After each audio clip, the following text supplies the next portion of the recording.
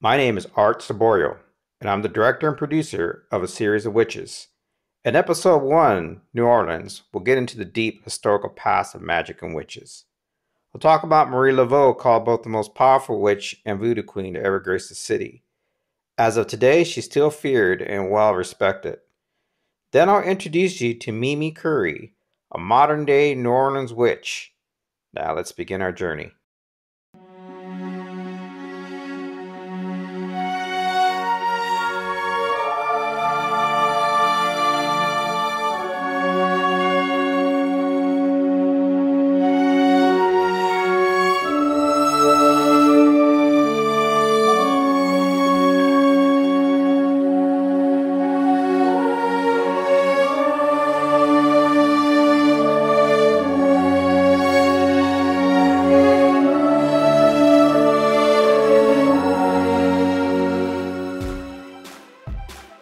Me to the state of Louisiana and to New Orleans to join me in the search for the modern day witch.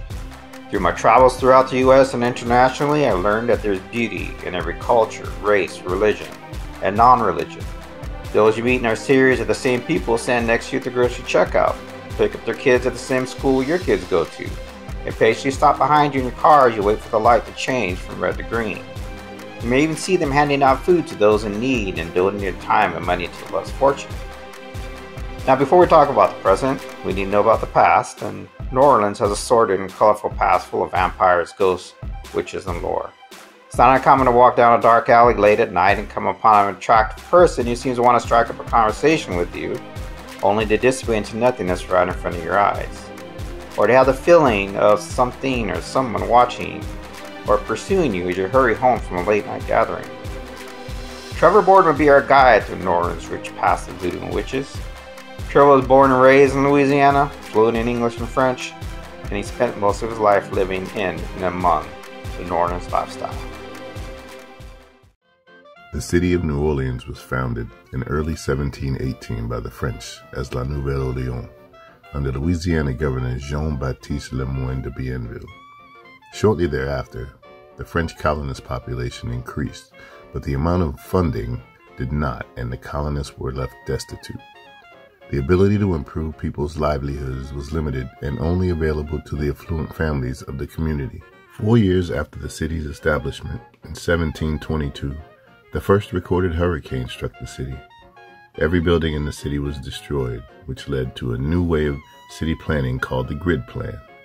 You can still see this ingenious building plan in the French Quarter. Louisiana changed hands a few times from France in 1763 to Spain and then back again to the French in 1802. In 1803, Napoleon sold Louisiana to the United States in the Louisiana Purchase.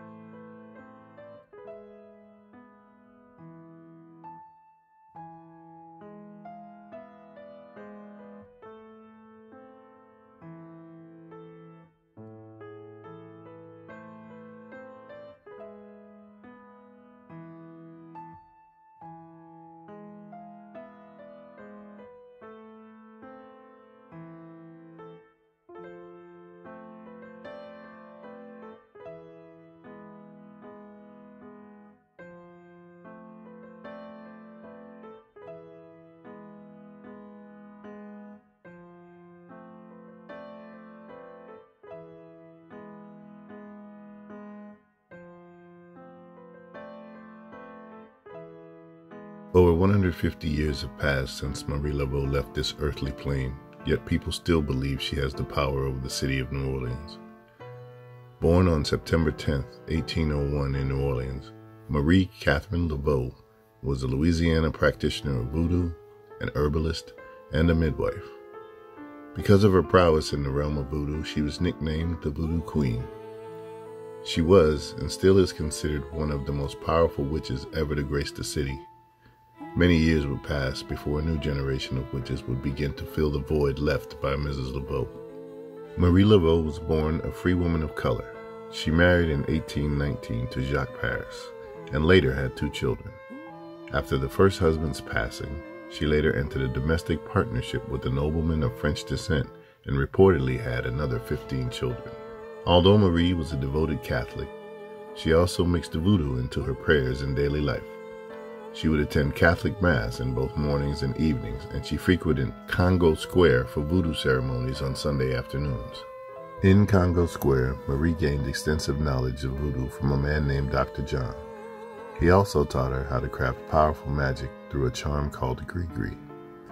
Marie started to create Grigri bags and sold them out of her home to patrons in search of protection, luck, or any other intentions her clients needed. Marie's life and legend drastically changed through the selling of her Grigri bags. People were receiving magical results from her voodoo conjurings. Day by day, Marie's legend was growing. Soon she would be called the Voodoo Queen. Marie built up a robust network of political, aristocratic, and religious connections.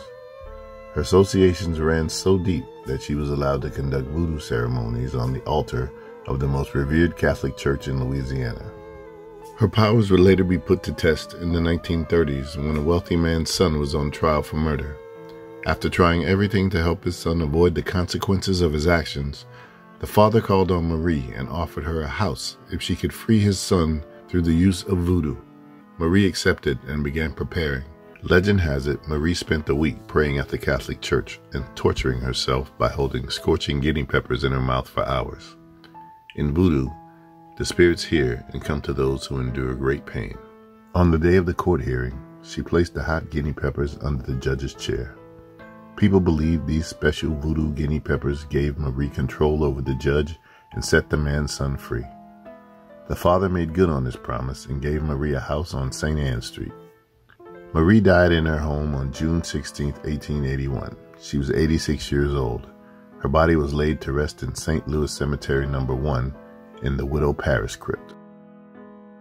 New Orleans is well known for its vampires, but it's also known for its witches. Now we'll go deep into New Orleans and introduce you to a modern day witch and uncover some of New Orleans' original dark magical secrets. Among the dark alleyways and hideaways through the historic French Quarter's eclectic Lower Decatur, nestled among local bars, antique shops, gothic clothiers, vintage boutiques, head shops, collectible emporiums, jazz clubs, Creole cookeries, and cozy cafes lies an authentic old world witchery called Hex New Orleans. Mimi Curry, a powerful witch who is well versed in her craft, conducts readings for the not so shy tourists and locals.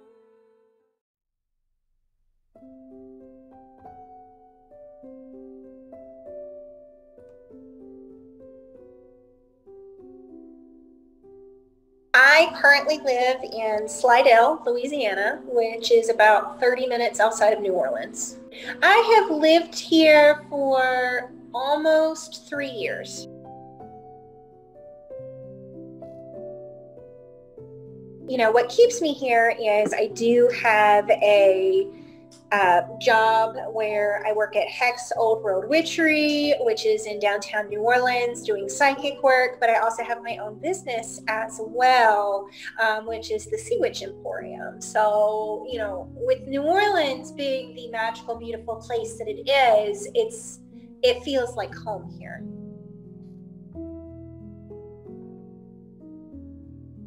I do have a son and I love him to pieces. His name is Tristan, and I do a lot of things um, with him in mind, um, especially like these little spiritual practices that I have, especially whenever it's around the holidays, like it is right now. Um, you know, we would make decorations or, you know, I would pull out old family recipes and things like that. And I think it was like very important to kind of like instill that in your children because you need to know where you came from.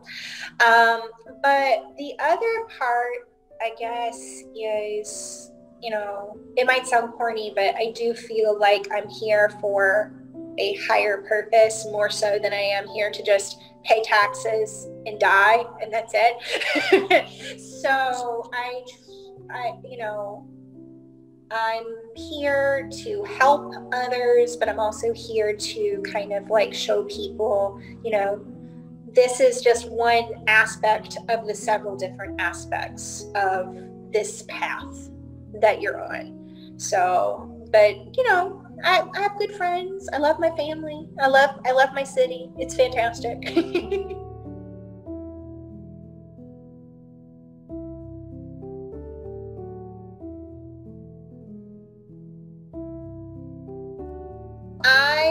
up in North Carolina originally, and um, when I was younger, I would help my grandmother out with a lot of different things, and they were farmers, so they planted things by the moon. Things were very seasonal. Everything had a rhyme and a reason. There was a lot of talk about ancestral stuff, but as far as like the spiritual part of it, I didn't really notice my gifts until I was like three or four because I would see what I now know as ghosts.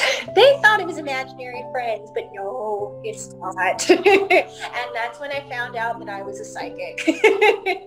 Because this is something that actually runs in my family. My aunt is a medium. My mom also has spiritual gifts as well. Um, my grandmother also had her own spiritual gifts. It's just that hers were a little bit different than my mom's side of the family. I only see certain things if they're like really, really strong um, because most spirits don't have the ability to kind of like show themselves as much as like you know say hollywood makes it seem like it is. But um, i do hear a lot of things. I will get a lot of smells from stuff.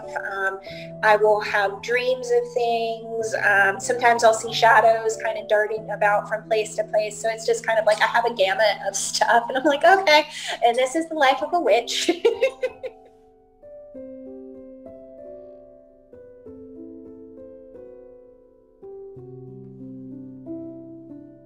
ever since I was able to hold a crayon, I have been doodling and drawing and painting and everything. I've had my art displayed in several different uh, art shows from elementary school all the way up till now. And it's one of those, it's a part of me that it's a form of self-expression and i do put a lot of my spiritual nature into my paintings too because it's letting that voice be heard. And I do also make products as well. And I'm fairly empathic whenever I do readings and I'm doing spells for people and that sort of thing. So I just kind of like, it's almost like channeling in a, in a sense to where I can take that energy and I can transmute it into something um, when I'm making art or if I'm making products or if I'm doing a bath or if I'm doing um, a floor wash. It's almost like my ancestors, um, the deities that I work with, the orishas that I work with, all of that is working through me to make something happen. And I think it's really important to not cut that part of you off when you do practice because a lot of people are like, oh, that's not what a witch does. Like, there's no right answer to being a witch. You can do whatever you want. If you want to look like Nancy from the craft, cool. If you want to have a cottage core aspect to it, cool. Just you do you.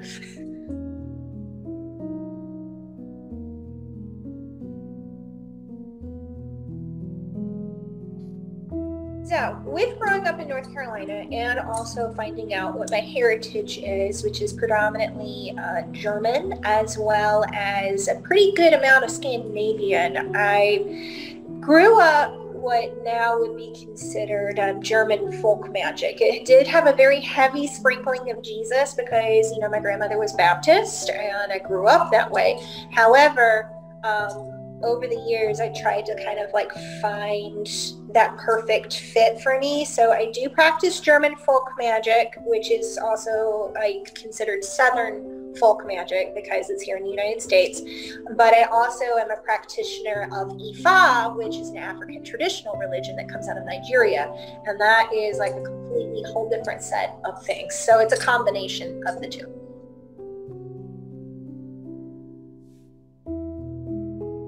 I do believe there are people that are gifted, and I think everybody is gifted in their own way. And everybody's spiritualism is unique to them. I know lots of people who are Christian but are very, very witchy.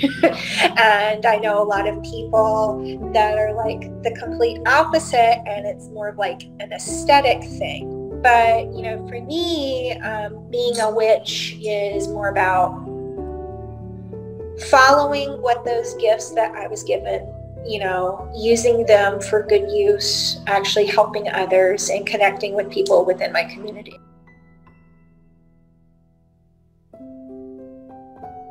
With IFA, IFA is about community. It is about helping your fellow man and making sure that other people are taken care of. I have a really nice support system within my spiritual family in that aspect. Um, I will you know help anybody out if they're in a bind i'm a very giving person so if somebody like say needs a ride or if you know they are having some issues i will use my skills that i have to kind of like help them out you know much kind much like um, somebody who's in like a prayer circle you know they give their condolences and they help people out and they have your back. It's the same thing you know with being in ifa. You know you have that ability to do that. But also it's about those everyday little things um like I'm, I'm a pretty generous person. I donate uh, clothes. I've um, worked in soup kitchens. I've done a lot of different things to help other people out. And I always try to be super understanding of a person's situation because even though no i've never been hooked on drugs or alcohol or anything like that i can still relate to these people and let them know. It's like hey you know it doesn't have to be this way. We can do things a little bit differently so.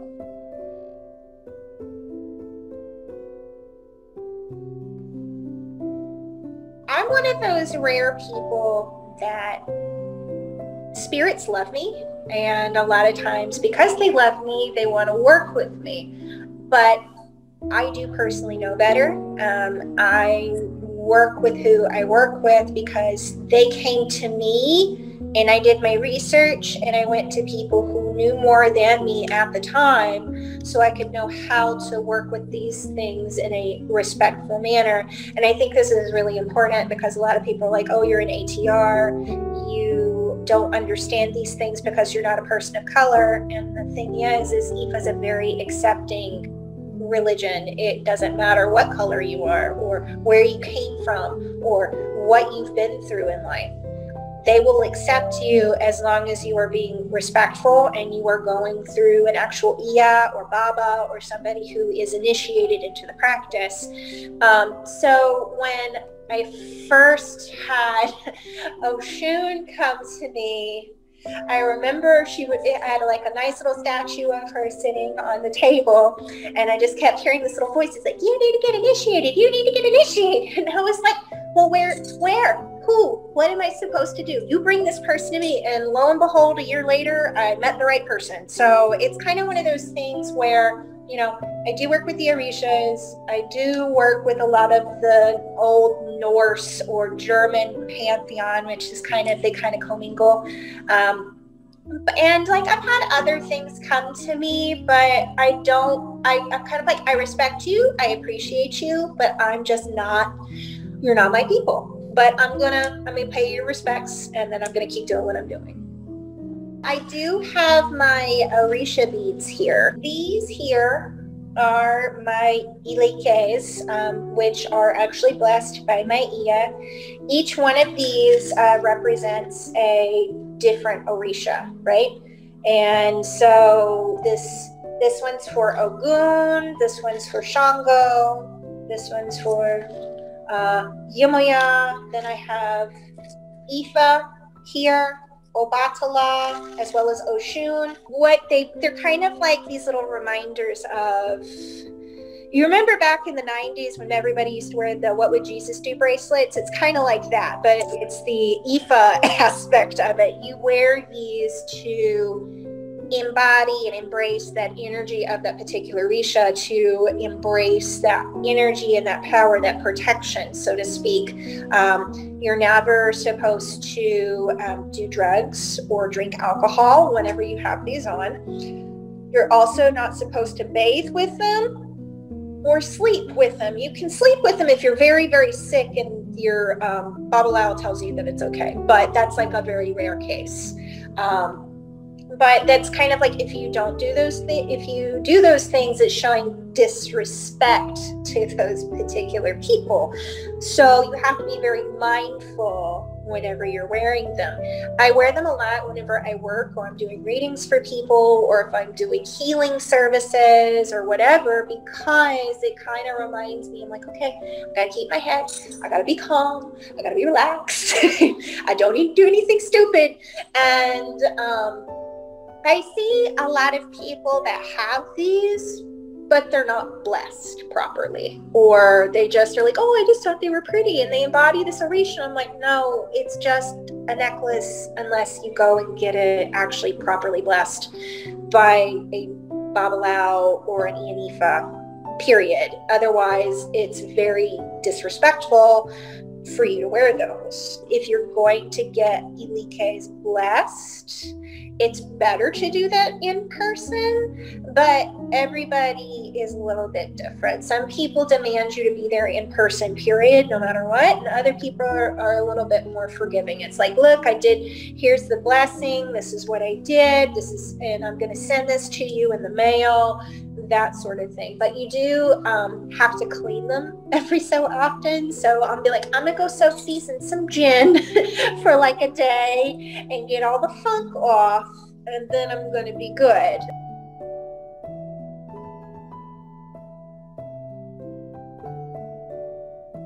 If you want to find me, you can find me either on Facebook or Instagram at the Sea Witch Emporium. I do answer messages regularly on both of those. Um, so you can either hit me up on there. Um, if you are ever in New Orleans or if you ever get a reading through Hex, you can find me under um, Mimi Curry, which is, um, and I'm here like three days a week just doing readings. And my business and my and readings here are two totally separate things, and they don't intersect. So you know, you can find me a, a lot of different ways. You just met Mimi Curry, a modern day New Orleans witch. I greatly enjoyed talking with her and hearing about her life and how she blends witchcraft, Ifa, and all the rest. Like the tides, you never know when people can show up in your lives, and a lot of times they show up at the right time. Some will stay for a short period of time, others will stay for longer, and then there are those which you share a spiritual bond with, and those people stay with you through multiple lifetimes. Take the time to look and listen to those who come into your life. You never know when someone with some very special gifts will pop up in your life at the right time when you need them the most. So when you meet someone, look deep beyond their faces Strip out the politics, religious affiliations, race, and beliefs. Go deep and peer into their hearts and souls. Learn their hopes, fears, wants, needs, and dreams. Because only there will you find common ground, friendship, and understanding. When all is said and done on this planet, all we are is human, and all we have is humanity. This has been my series of witches.